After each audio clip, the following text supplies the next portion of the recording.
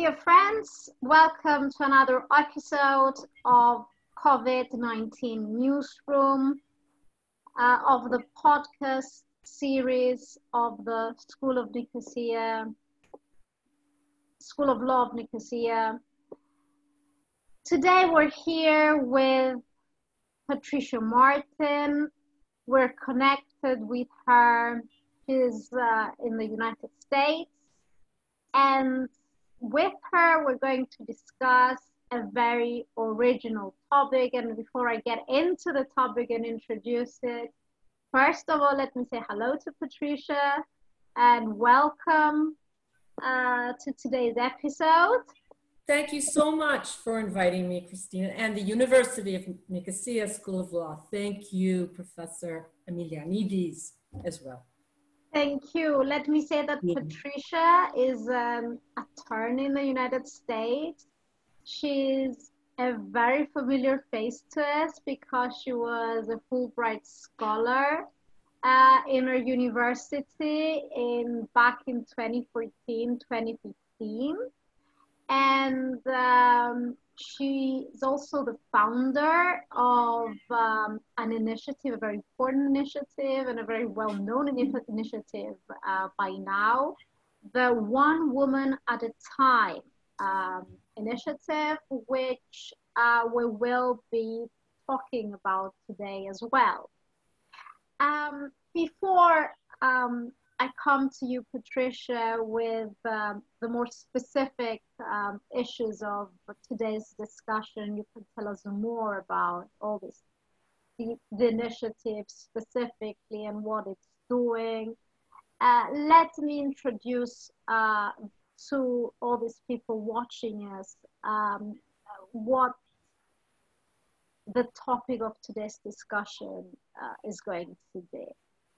Uh, we will be talking about how this pandemic related state shutdown has created in our life in our lives in general specific experiential human conditions which mirror loss in human liberties. But in this case specifically we will be looking at abuse against women, but more specifically at non-physical abuse against women. And an issue that, an issue that emerges uh, is the need and maybe the urgent need in many cases for an expedited filing of such cases via digitally accepted documents. And this is something that Patricia will talk to us uh, in detail about.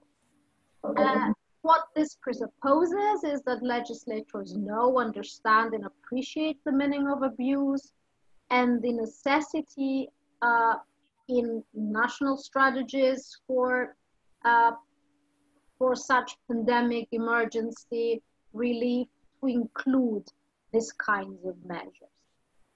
So, um, Patricia, um, you are an attorney in the United States. Uh, you are um, Fulbright uh, scholar. Uh, you are also a founder of OWAAT. Uh, what is the legal basis of your basic premise on which this initiative OWAAT first declared you can self-help uh, your right of no contact on your own legal, on your own legally? Well, thank you for that question, uh, and thank you for that introduction. Um, I would like to, first of all, in segueing into this answer, to say that um, in the United States, um, the focus of human rights um, is embodied in our Constitution. Um, and internationally, it is embodied in international treaties, such as the European Convention on Human Rights. These basic platforms upon which we embark our understanding of no contact per se, um, or civil protections for no contact or self help, your right to no contact, are enumerated in different ways, but they mean the same thing. So when uh, the research began uh, for myself on what it means to self help, the right to no contact, it's interesting that to this day, and I applaud the president of Cyprus because the right to no contact globally now and in various ways throughout the world in various nations in jurisdictions locally in towns and villages and in states in the united states has again been interpreted differently in the manner in which it is life preserving so today we are now seeing an embracing and a crystallization of self help, the right to no contact, because it has become now something, it is a matter of life and death to flatten the curve of this pandemic, this deadly COVID 19. Now, getting back to what is the legal premise of this, obviously, every leader of every country that is being affected by this virus is now asserting their wand to say, your no contact with other people is your right to life. And we, as government actors, have a duty to ensure that your life is preserved. And the way that we are doing that is to impose mandatory laws which require you to have no contact in various ways. And the essential things that are necessary in order for this society to stay alive will be continued, such as, for example, because our police are our line of first defense against this pandemic, and because our hospitals are our first emergency aid for people who have this pandemic, they're number one. They're the line of first defense. And with that is our courts.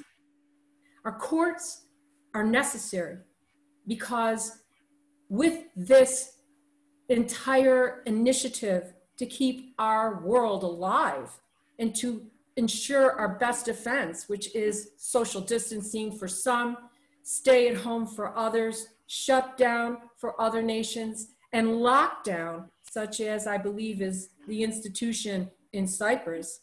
In order for this to happen within our various nations, we have to make sure, of course, that there's a safety net, that there's some sort of what I would say safeguards that the nation and its leaders are ensuring people on a day to day basis are there for them.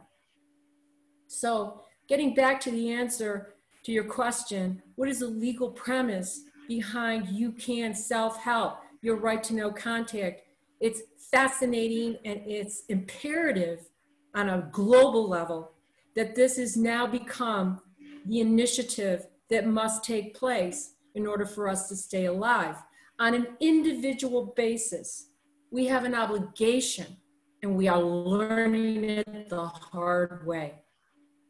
We are learning it how it is an individual requirement in order for us to preserve life as a whole, for us individually to recognize that the right to no contact is also the need to preserve the life, the health, and the safety of one another. So we as individuals have their part, and governments on the global level are making sure that we understand what that part is. And I want to thank you also for using the word abuse. What a word.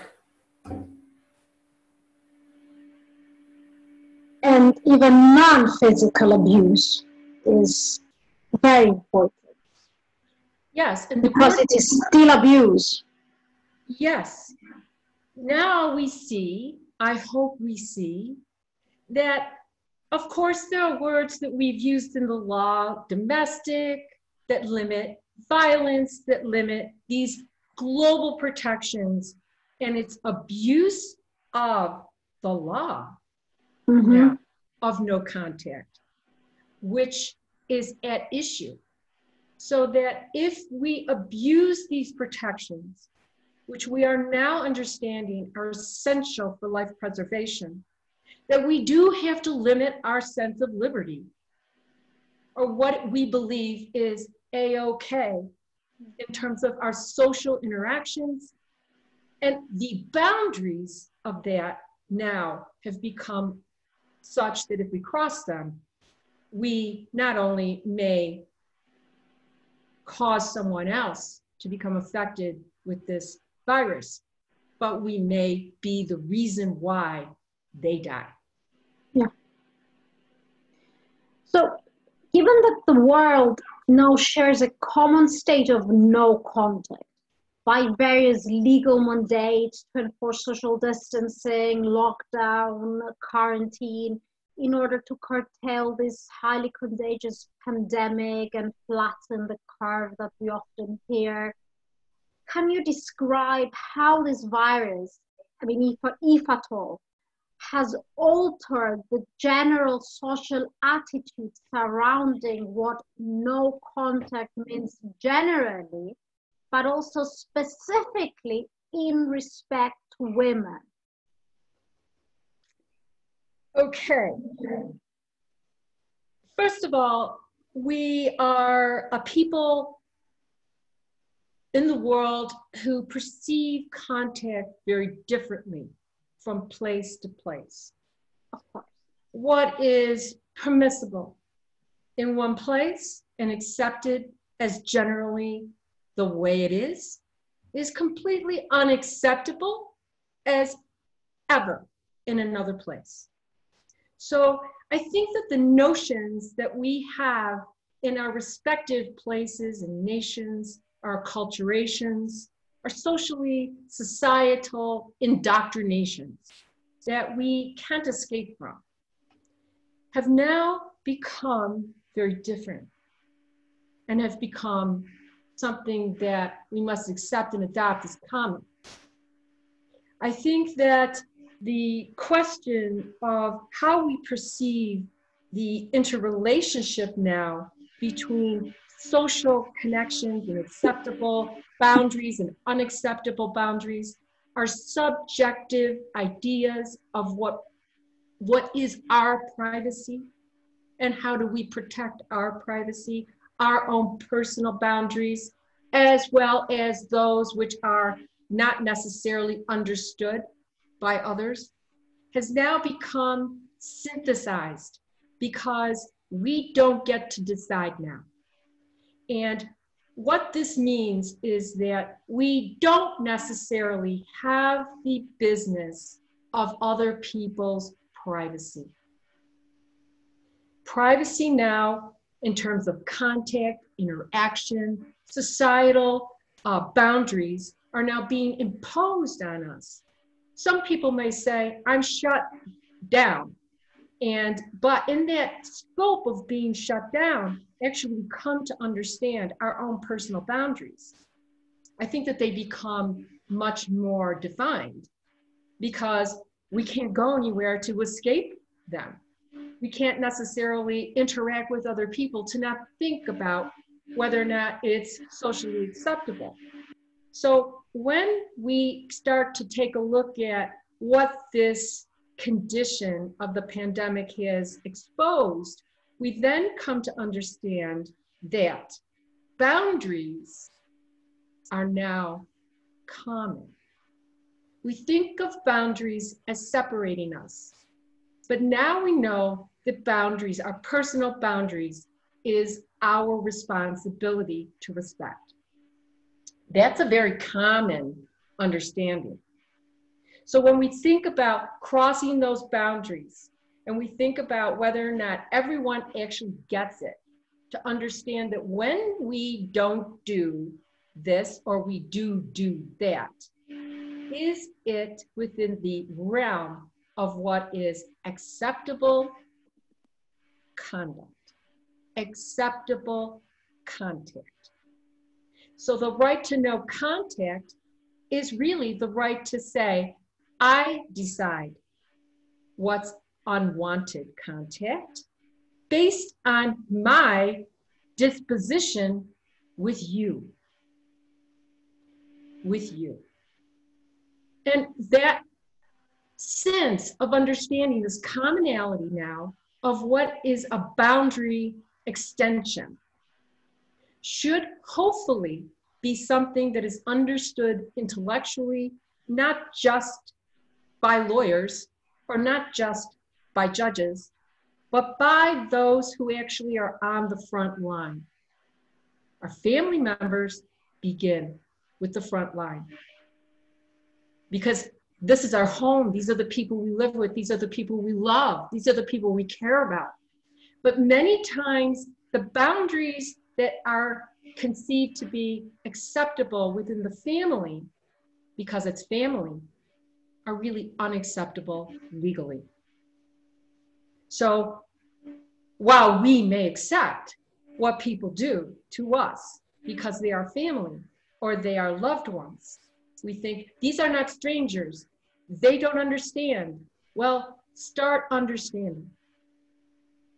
Because when we start understanding within our own homes where we are on shutdown, we then be able to be citizens in a society which understands when we walk out the door, we get it. We get that the way we've interacted in order to survive in our home today is the way we interact with others so that the society survives on a safety and health level when we walk out the door. So we have the macro and we've got the micro. This is what COVID-19 is, is, is, is basically branding into our brains now. And it's hard for people to get it, but we got to get it. Yeah. So let me dig a bit deeper into this situation. Um, you have aimed this One Woman at a Time initiative as a means for empowering abused women globally. Through establishment of its mission, zero tolerance, abuse, uh, zero tolerance of abuse against women long before violation erupts. The latest reports, however, that relate to the whole coronavirus pandemic, what they indicate is a substantial increase globally in domestic violence cases. I mean, this is everywhere. I mean, we see it in Europe, we see it um, um, in, in, in countries um, in, in the US, uh, we've seen it everywhere.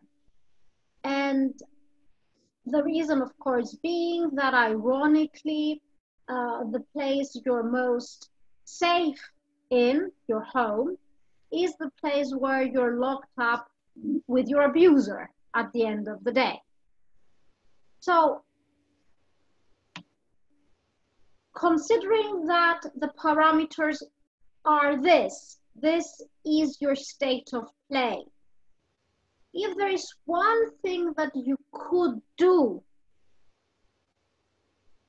to help, I mean, with the victims, I mean, to help these victims, what would it be?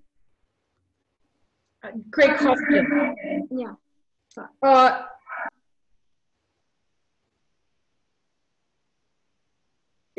the one thing that I could do, or we, I would ask the world to do, actually happened to me this week.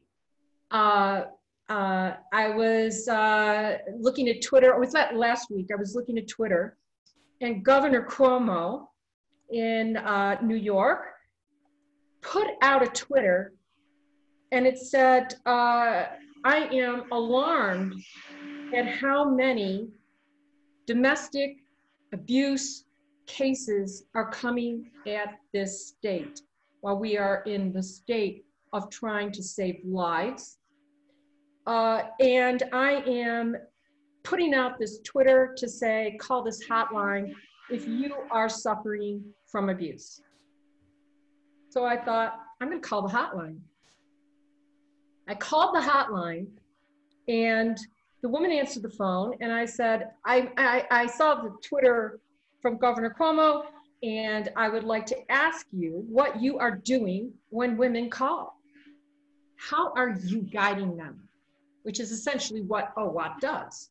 It guides women to get into court on their own, to self-help the right to no contact, to, to, to end their abuse on their own.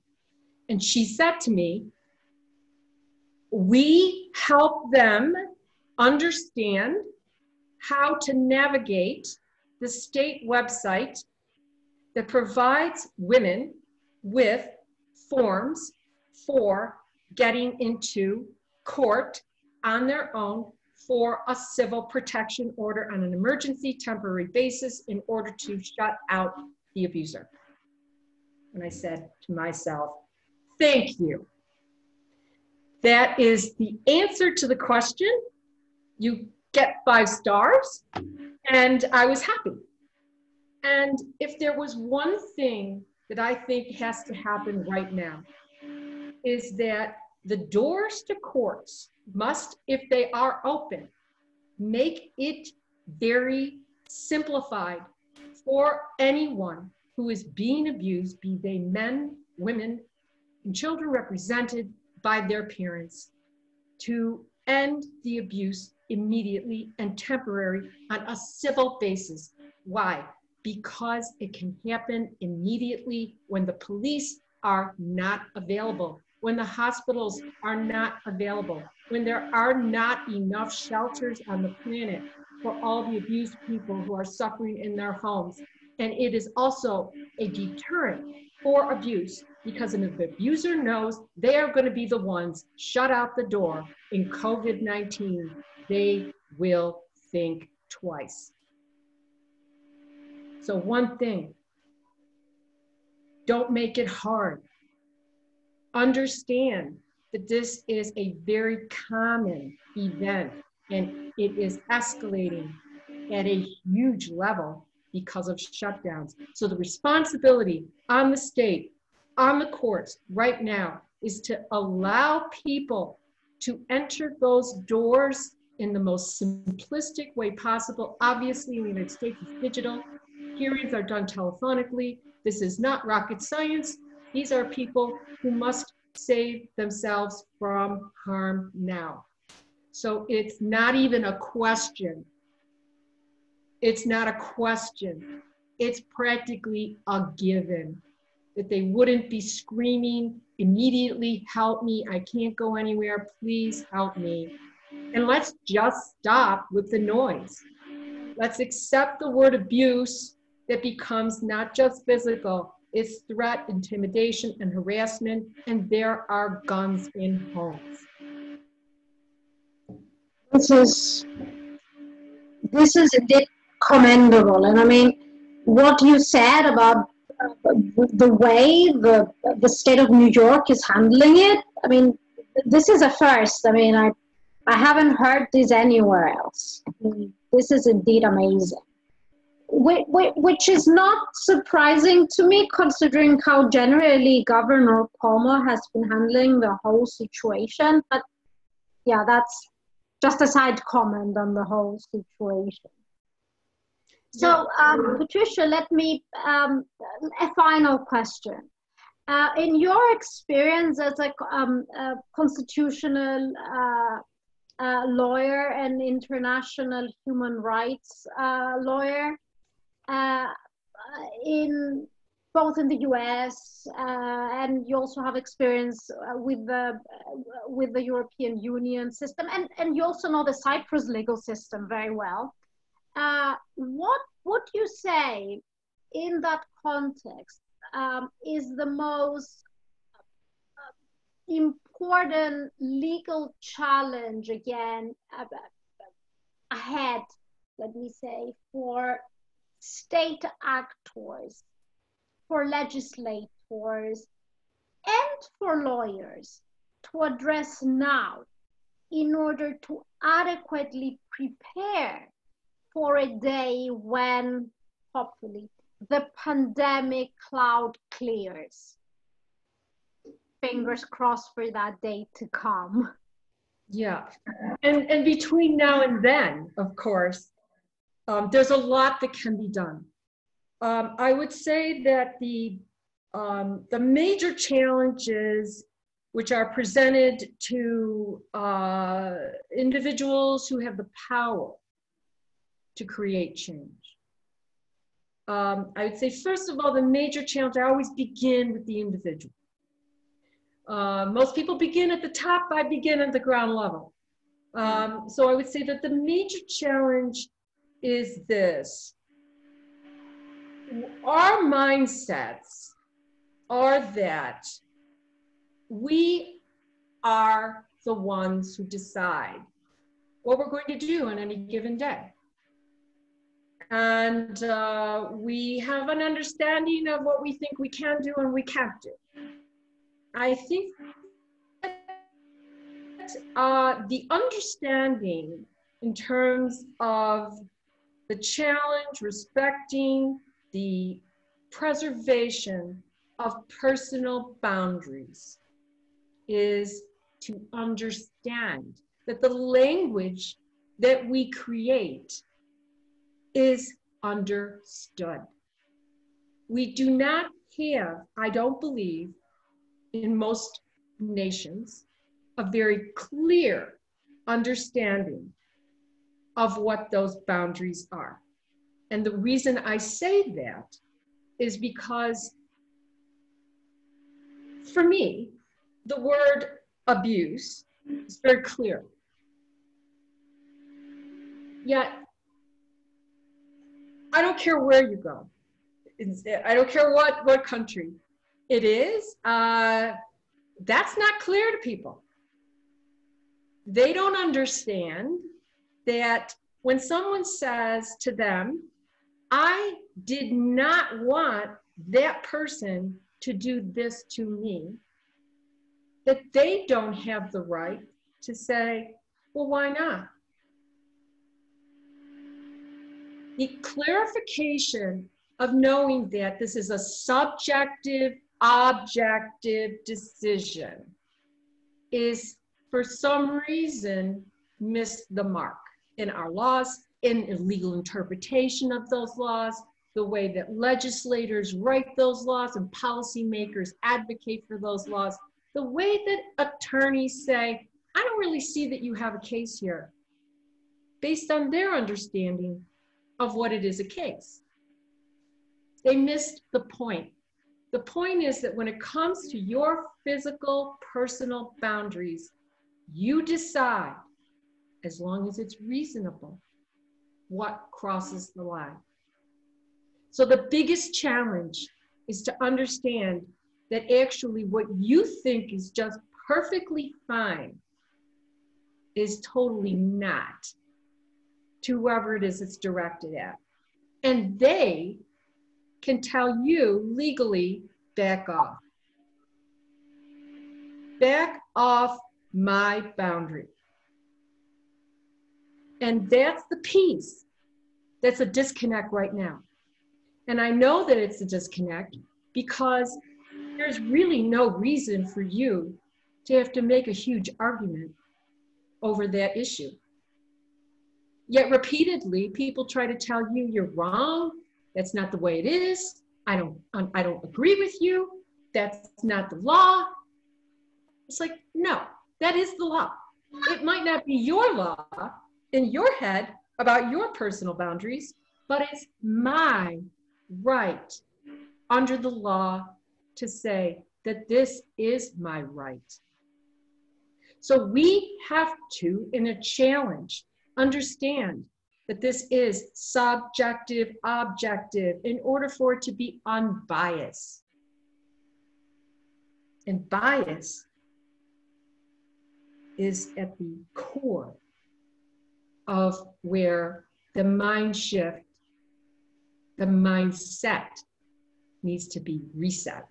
And I say sometimes you can't fill all the cracks. And sometimes you just gotta break it and begin again. Dear Patricia, I mean, thank you for, well, a most enlightening, but also for most empowering uh, discussion. Uh, I think uh, it was very uh, insightful, helpful, and setting boundaries is very important generally in our lives. But this is also a very sensitive issue as well. And in light of this whole situation that we are living, I think it's also extremely important for victims in this situation to take power in their own hands and realize and react to this situation. So I really do hope that you have inspired people today, that you will inspire Thank people you. as well, because a lot of people will watch this later as well, because it will be uploaded on our YouTube channel. It can be watched as a podcast, there's an audio podcast then video podcast, and it's also will also be available very soon as an iTunes on, on, on, on Apple iTunes. So thank you so much for being Thank with us. you. Uh, it was a great pleasure and uh, an honor, I would say, for having you here today with us. My, my honor. And I honor Cyprus and I honor the shutdown. May you all be well. should. We all should, and we should all respect it as well, because that's the only way to help at this moment. So, dear friends, this was Patricia Martin with us from Colorado, United States, a native New Yorker who's very worried about her family right now back in New York. Yes. And I truly hope, Patricia, that ev- everything turns out great. Keep safe. And all our positive thinking are with you over there as well. So, dear friends, thank you for watching us. Uh, this was another episode of COVID 19 Newsroom from the School of Law of the University of Nicosia. Bye-bye, everyone. Take care.